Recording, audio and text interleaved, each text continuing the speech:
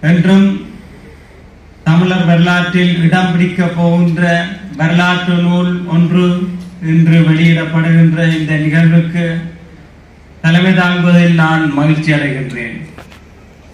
தமிழர்கள் உலகம் முழுவதும் பரவி வாழ்ந்தாலும் அன்னீவன் ஜஸ்டிஸ் சமனற்ற நீதியாக யாழ்ப்பாணத்தில் தமிழில் மொழிபெயர்க்கப்பட்டு உலகெங்கும் எடுத்துச் செல்லப்பட போகின்றது என்பது எமக்கு பெருமை.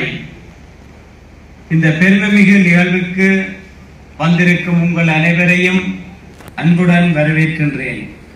இந்த நூலின் நாயகனும் அதன் ஆசிரியரும் இளம் சமூகத்தினரும் சமூக சமூகத்தினரின் சிறந்த வழிகாட்டியும் ஆகிய திரு ராஜ் ரா- ராஜரட்னம் அவர்களை அன்போடு வரவேற்கின்றேன்.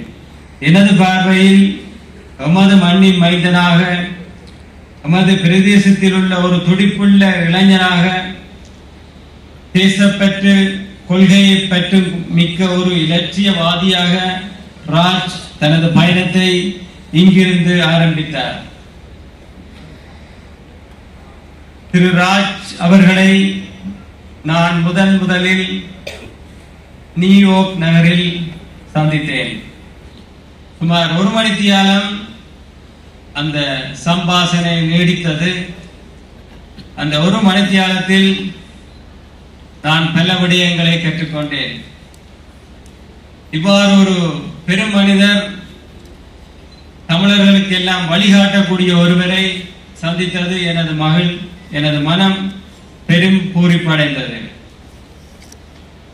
திருவாளர் ராஜ் அவர்கள் எமது சமூகத்திற்கான ஒரு குறிகாட்டி.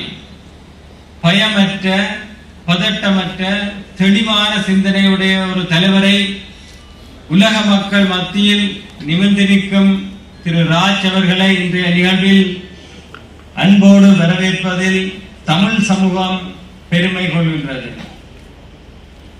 அவரது துணைவிய ராசா அமைதிக்கும் பொறுமைக்கும் ஊக்க சக்திக்கும் உறைவிடமாக இருந்து ராஜ் அவர்களையும் சமூகத்தை இணைக்கும் பாலமாக இருக்கின்றார் அவரையும் அன்போடு வரவேற்கின்றேன். சமனற்ற நீதி ராஜ் என்ற உயர்ந்த மனிதரை நமக்கு வழிகாட்டியாகவும் இளைய சமூகத்தினருக்கு ஒரு வழிகா வழியாகவும் காட்டி நிற்கின்றது. அந்த வழிகளில் பயணிக்க உங்கள் அனைவரையும் அன்போடு அழைத்து விடைபெறுகின்றேன். நன்றி வணக்கம். அவர் தலைவர் தன்னுடைய உரையில் கூறிய பொழுது சொன்னார் நெருப்பாற்றை கடக்க வேண்டிய ஒரு சூழ்நிலை வந்தது. அந்த ஆற்றை கடக்க வேண்டிய ஒரு சூழ்நிலை வந்தபடியினால் தான் ராஜ் அவருடைய செல்வத்திலிருந்து கொடுக்க முடியாததை அவருடைய வாழ்க்கையில் இருந்து உலக சமூகத்திற்காக அவர் கொடுத்திருக்கின்றார் இது மிகப்பெரிய ராஜ் அவருடைய வாழ்வின் அடித்தளத்தில் இருந்த அனுபவங்களை அப்படியே நமக்கு முன்பாக படைத்திருக்கின்றார் ஆகவே ராஜ் அவர்களை வாழ்த்துகின்றேன். குறிப்பாக அவரது மனைவியை அவருடைய பிள்ளைகளை நாங்கள் இந்த நேரத்தில் நினைத்து வாழ்த்துகின்றோம் பாராட்டுகின்றோம். அவ்வளவு கடினமான விடயம் இலகுவான விடயம் அல்ல. அவருடைய மனைவியும் பிள்ளைகளும் ராஜ் சிறையில் இருந்த பொழுது கண்ட அனுபவங்கள் இந்த நூலை வலு சேர்த்திருக்கிறது இந்த சமூகத்திற்கு அது மிகப்பெரிய செய்தியை கொடுக்கிறது. ஒரு குடும்பம் எவ்விதமாக பல்வேறு சவால்களை சந்திக்கிறது என்று. ராஜ்யவர்களையும் அவருடைய மனைவியையும் பிள்ளைகளையும் நான் வாழ்த்துகின்றேன். அடுத்ததாக டாக்டர் சத்யமூர்த்தி. இந்த நூல் அன்இவன் ஜஸ்டிஸாக இருந்திருந்தால் நான் உட்பட இங்க இருக்கக்கூடிய தமிழ் கூறும் நல்லுலகில் பலர் இந்த பொக்கிசத்தை நாம் இழந்திருப்போம். கடினமான ஆங்கிலம். ஆங்கில புத்தகம் வருகிற பொழுது முதலாவது சாப்டரில் சில பகுதிகளை வாசித்து விட்டு எனக்கு வாசிக்கவே விளங்க இல்லை. அவ்வளவு கடினமான ஒரு பகுதி. ஆனால் டாக்டர் சத்தியமூர்த்தி அவர்கள் இந்த நூலை தமிழில் மொழிபெயர்க்க வேண்டும் என்று திடசகற்பம் பூண்டார். ஒரு வருடத்திற்கு முன்பு ஒரு வருடத்திற்கு முன்பு அதற்காக கடினமாக உழைத்தார். காரணம் டாக்டர் சத்தியமூர்த்தி ஒரு எழுதப்படாத நூல். ஒரு எழுதப்படாத நூல். நாங்கள் நாள்தோறும் படித்துக் கொண்டிருக்கின்ற ஒரு நூல். அத்தியாயம் அத்தியமாக அத்தியாயமாக தன் வாழ்நாளை சந்திக்கின்ற சாதிக்கின்ற விடயங்களை எழுதி கொண்டிருக்கக்கூடிய ஒரு மனிதன். என்னோடு ஃபாதர் டெனி அவர்கள் இப்பொழுது வருகிற பொழுது கேட்டார் ஃபாதர் டாக்டர் சத்தியமூர்த்தியை பற்றி ஏதாவது ஆர்டிக்கல் இருக்கா புத்தகம் இருக்காண்டு நான் சொன்னேன் நாங்கள் ஒவ்வொரு நாளும் வாசித்துக் கொண்டிருக்கிற புத்தகம் டாக்டர் சத்தியமூர்த்தி. அவர் புத்தகமாக எழுதப்படுவதற்கு முன்பாகவே எங்களுக்கு ஒரு புத்தகம் தான் அவருடைய ஒரு அசைவிலும் நாங்கள் நிறைய விடயங்களை நாங்கள் படிக்கின்றோம்.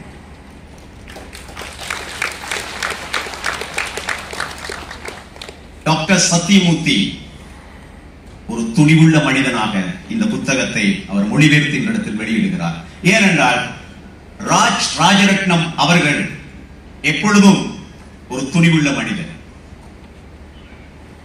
ஒன்றுக்கும் பயப்படாத ஒரு துணிகரமான மனிதன் அந்த நூலை வெளியிடுவதற்கு இன்னும் ஒரு துணிகரமான மனிதன் தேவைப்பட்டார். அதுதான் டாக்டர் சத்யமூர்த்தி. அவரை நான் அன்போடு வாழ்த்துகிறேன் பாராட்டுகின்றேன் மூன்றாவதாக இந்த அன்பின் ஜஸ்டிஸ் என்கின்ற நூலை எங்கள் கரங்களில் செந்தமிழில் தவள விட்டிருக்கின்ற இரண்டு தமிழ் ஆங்கில மூதறிஞர்கள். ஆங்கிலத்திலும் தமிழிலும் இரண்டு பேரும் பேரறிஞர்கள் இவர்கள் கிடைத்திருக்காவிட்டால் இந்த நூல் இவ்வளவு தகுதியாக கிடைத்திருக்காது. நாங்கள் அண்மையில் உரையாடி கொண்டிருக்கின்றோம். உலகம் முழுவதும் தமிழ் மக்கள் இருக்கிறார்கள். உலகம் முழுவதும் இந்த புத்தகம் போக போகிறது. உலகம் முழுக்கணும் போக போகுது. ஆனால் நான் கேட்டேன் கருணாகரன் கவிஞர் கருணாகரனிடம் கேட்டேன் தமிழ்நாட்டுக்கு போகிற பொழுது அங்கே மொழிபெயர்ப்பார்களா? இல்லை. மலேசியாவுக்கு போகிற பொழுது அங்கு மொழிபெயர்ப்பார்களா? இல்லை. இந்த மொழிபெயர்ப்பு தான் உலகம் முழுக்களும் செல்ல போகிறது. யாழ்ப்பாண மொழி நடையில் தூய தமிழ் மொழி நடையில் உலகமெங்கும் இருக்கும் அத்தனை கோடி தமிழர்களும் வாசிக்கத்தக்கதான ஒரு பெரிய கைங்கரியத்தை எங்கள் அன்புக்கும் மதிப்புக்கும் உரிய இரண்டு அறிஞர்களும் செய்து முடித்திருக்கிறார்கள். சோபா சார் அவர்களும் பேராயர் ஜெபனேசன் அவர்கள் உண்மையில் கிறிஸ்துவுக்கு பின் ஒன்பதாம் ஆண்டு ஒன்பதாம் நூற்றாண்டு சீவக சிவா சிந்தாமணியை திருத்தக்கத்தவர் எழுதிய பொழுது அது ஒரு தழுவல் நூல் உங்களுக்கு தெரியும். சமஸ்கிருதத்தில் இருந்து வந்த ஒரு தழுவல் நூல். அதை ஒரு மிக சிறந்த மொழி தமிழ் மொழி தழுவல் நூலாக எல்லாரும் கொண்டாடினார்கள். காரணம் அதனுடைய மொழி நடை. அதற்கு பின்பு கனகாலம் அதை பற்றி மொழிநடையை பற்றி நல்ல மொழிநடையை பற்றி பேசுறதுக்கு சந்தர்ப்பம் இல்லாமல் இருந்தது. அதை பற்றி ஒருத்தர் உரையாடாமல் இருந்தது. திரு வேபா சுப்பிரமணியம் இங்க சோபா என்பது போல வேபா சுப்பிரமணியம் அவர்கள் மில்டனுடைய த பாரடைஸ் ஃபோல் என்கின்ற நூலை ஆங்கிலத்திலிருந்து தமிழில் மொழிபெயர்த்தார். அந்த நூல் மிக சிறந்த மொழி நடை கொண்ட ஆங்கிலத்திலிருந்து தமிழுக்கு மொழிபெயர்க்கப்பட்டதாக அதற்கு பின்பு ஈழத்தில் முதலாவது தமிழ் மொழிபெயர்ப்பு ஈழத்தில் முதலாவது தமிழ் மொழிபெயர்ப்பு அன்னிவின் ஜஸ்டிஸ் சமணற்ற நீதியாக வந்திருக்கிறது. ஒரு உன்னதமான தமிழ் மொழிபெயர்ப்பு. நாங்கள் அவர்கள் இருவரையும் பாராட்டுகின்றோம். ஆன்மாவை இந்த நூலில் சந்தித்தேன் என்று சொன்னேன். சொன்னனா இல்லையா? சொல்லாம எங்கே நான் இந்த நூலை வாசித்த பொழுது ராஜின் ஆன்மாவை தரிசித்தேன்?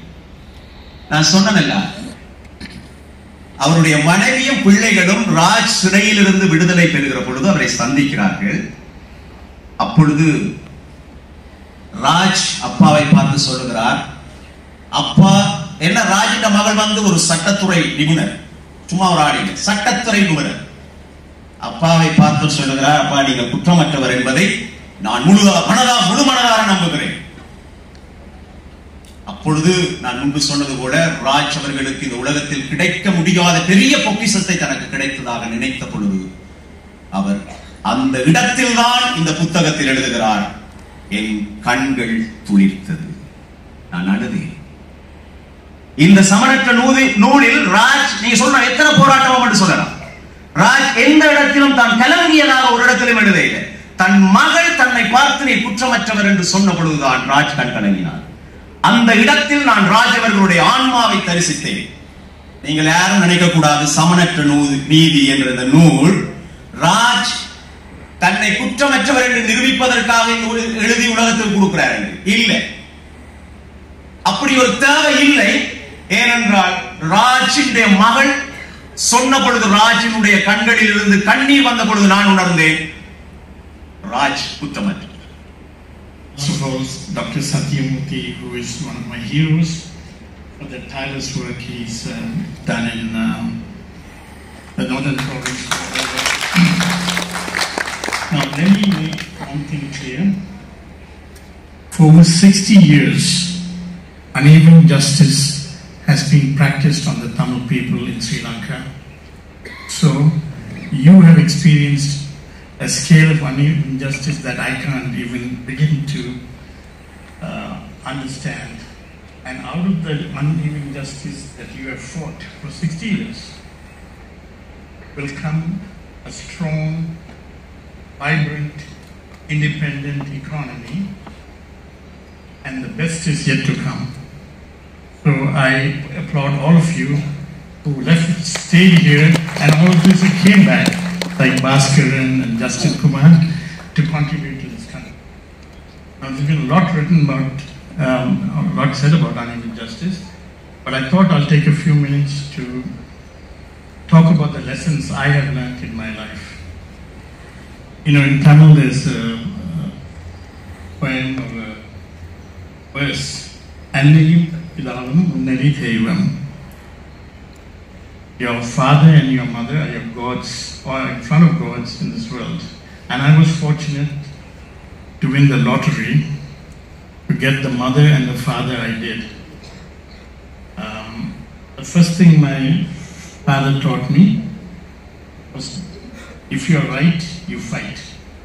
Don't take a step back. And I watched him, a little boy from Alvai, who was the first from Alvai to go to university and then climbed the corporate ladder to the very highest ladder here in Sri Lanka and all of Asia. I watched him and one day he told me, son, I said, you're lucky. He said, no. The harder I work, the luckier I get. So there's no substitute for hard work. Right? We I sometimes get um, sad that when people say, oh, the young people don't work as hard as we used to. And if you don't work hard, you're not going to achieve anything. So that's one. Number two, learn from failure. You learn more from failure than you do from success. I fail every day. I can always make more money in the stock market than I actually did. I analyze why didn't I make more money? And I learn from that every day, even today. So don't be afraid to fail. In Silicon Valley, less than 20% of the companies that are funded by venture capitalists actually make it and make money for the venture would also say be entrepreneurial. Try to work for yourself, but before you do that, go and work for a company, learn everything you can, and then come up with an idea that you can uh, build on, and build a company, and treat your employees fairly because it's those people who help you get to where you want to go to. When I was arrested in October 2009, of the 150 things I worried about, insider trading was not one of them. I was 100% sure that I was going to win. My lawyers were 100% sure we were going to win. But I had three options. One was to say, okay, I'm guilty, pay a fine, and walk away. The second one was, and I got I had the option, is to point fingers at somebody else and lie. It's called plea bargaining, and um, and also help the government catch a few other people. The third thing, option I had was to fight. I knew that if I fought, everything showed that the sentence you got was at least two to three times what you would do if you didn't fight. But every core of my body, I could not plead for something I didn't, I didn't do, and I was prepared to fight. Now, people who perpetrate justice, injustice, will always lose.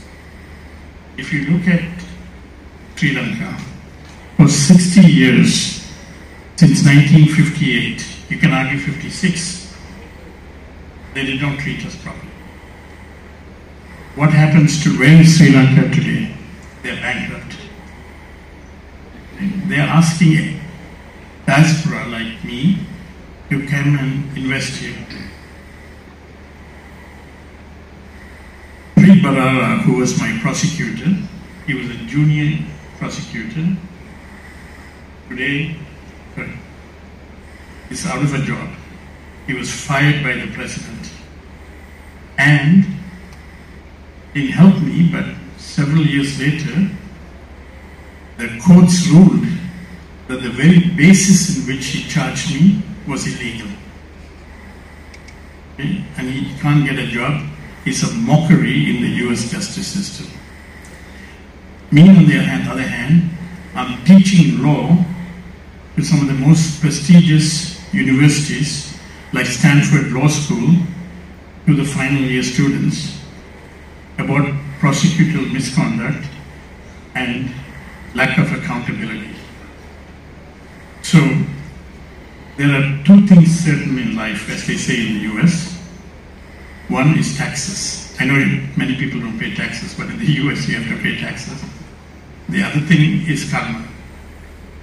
You can't get away from karma.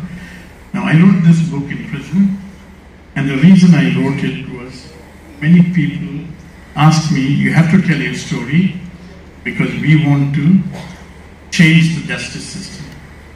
There's a 98% conviction rate in the United States for people who want to go to trial. The reason I, I wrote this book is not say I'm innocent, guilty, but to open people's eyes. If you don't take small steps to educate and open people's eyes, when I wrote this book, I had no, I, I had no thought of translating it in Tamil because the target was the US Justice Department. I had to fight the most powerful entity in the whole world, single handedly. When I met Dr. Satyamurthy, after several times, he said, You should uh, uh, translate this into Tamil because